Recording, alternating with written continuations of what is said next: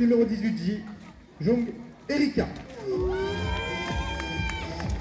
Allez, je vais vous demander le plus grand des silences pour la concentration des pilotes, s'il vous plaît.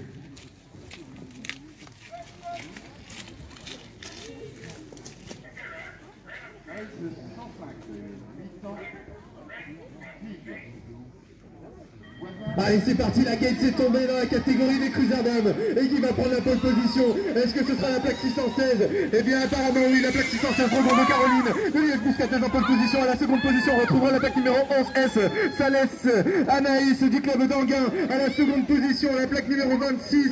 La troisième position, excusez-moi, Cazol Gislaine du club de Marmande. Dans cette troisième position, voilà le trio tête actuellement. Regondo Caroline, Salès, Salès et Anaïs, excusez-moi. Et la plaque numéro 26, Cazol Gislaine du club de Marmande.